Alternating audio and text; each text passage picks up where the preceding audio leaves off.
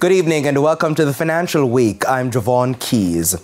Jamaica's economy grew by 2.1% for the third quarter, which ran from July to September.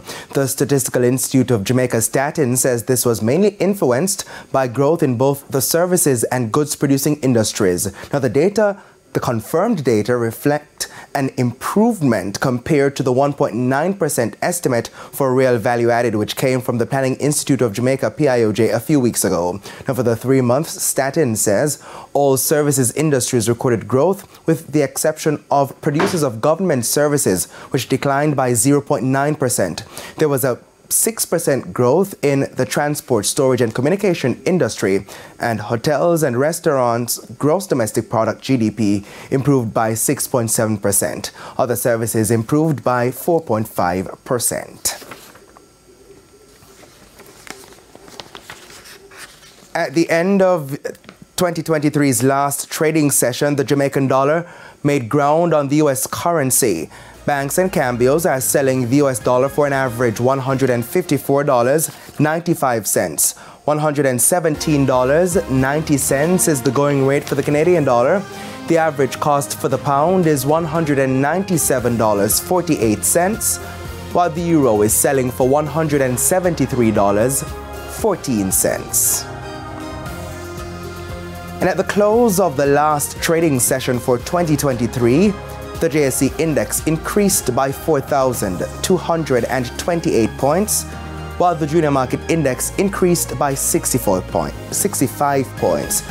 Among the 60 winners were our parent company, Radio Jamaica Limited, 138 Student Living Jamaica Variable Shares, Salada Foods Jamaica, Eppley 7.75% preference shares, and Caribbean Cream. The 32 losers were led by Stanley Motta Ordinary Shares, Sygnus Credit Investments US Dollar Shares, Blue Power Group, Diamond Trading, and Guardian Holdings.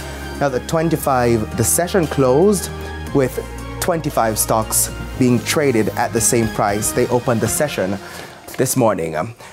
Now, local businesses may soon have access to more opportunities to partner with firms on the African continent. Now, earlier this month, the Ghana Jamaica Chamber of Commerce was launched. Data Repository OEC says in 2021, exports from Jamaica to Ghana were valued at about 15.7 million US dollars. This was mainly linked to the trade of minerals to include aluminum oxide. There, however, appears to be a new avenue that could potentially ramp up trade between Jamaica and the African country. President of GANJAC, Derek Kobina, says there are some key areas for initial focus. In terms of the arts and culture, um, fintech, um, and I'll say food and the beverages side of life as well. So these are the key areas that I think I'll call them, them the low hanging fruits that Ghana and Jamaica obviously share. Lakeisha Ford is GANJAC Vice President. Trade, investment, commerce, things of that sort is really what I think charts the path or the future for countries, relationship, country relationships, um, different groups. So, really, the Ghana Jamaica Chamber of Commerce is, I would say, the fruits of wanting to see um, the connection move forward.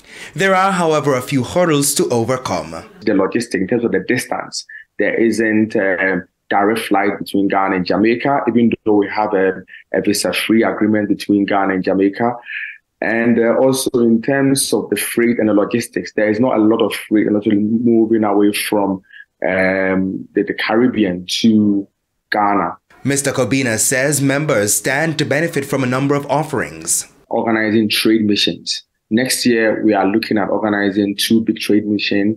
I mean, one from Ghana to Jamaica and another one from Jamaica to Ghana. And that's also key as well.